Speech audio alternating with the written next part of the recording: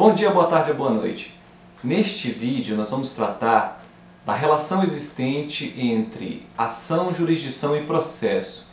É, vai ser um vídeo num formato diferente daqueles que eu tenho postado ultimamente. Não vou usar hoje o recurso do, do Prezi.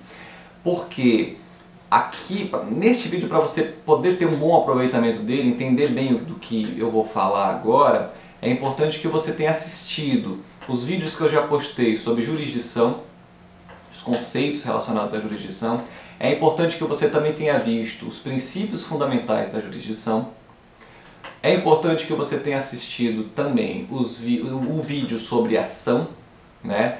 visto as condições da ação, os elementos identificadores da ação e também tenha assistido o vídeo que eu falei sobre processo, em que eu, eu falo de alguns conceitos relacionados a processo. Então é muito importante que você tenha assistido esses vídeos para você entender do que eu vou tratar agora que eu quero falar com vocês hoje, ah, findando esse primeiro semestre de 2017, né, a data que eu estou fazendo esse vídeo, é essa relação que existe entre esses institutos, entre ação, entre jurisdição e entre processo.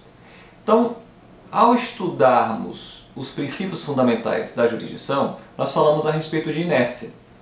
Então vocês devem lembrar que Normalmente, o poder judiciário ele não vai atuar sem provocação.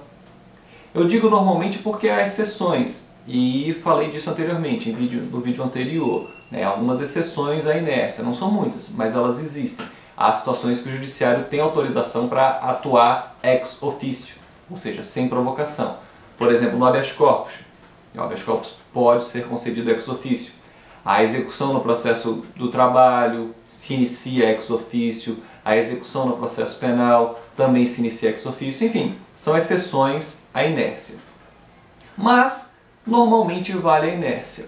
Normalmente, o Poder Judiciário não vai atuar a não ser que ele seja provocado. Ele não vai exercer a jurisdição sem que haja provocação. Como é que essa atuação do Judiciário será provocada? Como é que o indivíduo é, vai pedir do judiciário uma providência. Eis a importância da ação. É através do exercício do direito de ação que a parte pede ao Poder Judiciário alguma providência e propõe uma ação trabalhista, ou uma ação penal, ou uma ação de natureza civil. Proposta a ação, né, feito o pedido ao Poder Judiciário, acaba nesse ponto a inércia ou pelo menos deveria acabar. Enfim, analisando a questão em tese, não há mais inércia. Então, a partir daí, o judiciário tem a obrigação de dar uma resposta. A partir daí, se aplica o princípio do impulso oficial.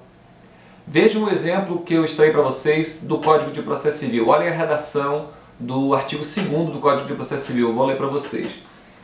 Diz o artigo 2 do novo Código de Processo Civil. O processo começa por iniciativa da parte e se desenvolve por impulso oficial, salvo as exceções previstas em lei. Então vejam, normalmente vale a inércia, normalmente é necessária a propositura de uma ação. É necessário que esse pedido seja feito ao judiciário, fora as exceções à inércia, né? fora as exceções em que o judiciário tem autorização para agir ex officio.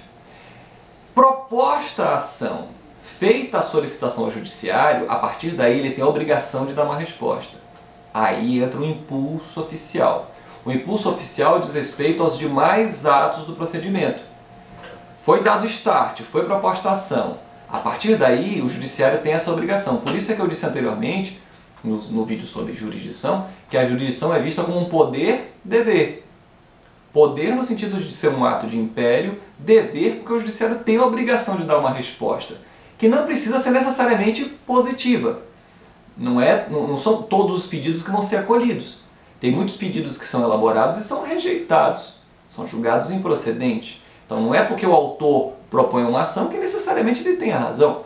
Muitas vezes fica demonstrado que ele não tinha razão e o seu pedido é julgado improcedente. Então vejam como estão intimamente ligados esses institutos: ação, jurisdição. Ação muito importante para justificar a atividade jurisdicional.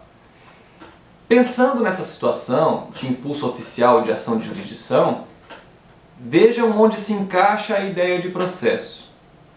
Porque se o judiciário tem essa obrigação de dar uma resposta, ele precisa de um instrumento que ele possa empregar para dar essa resposta.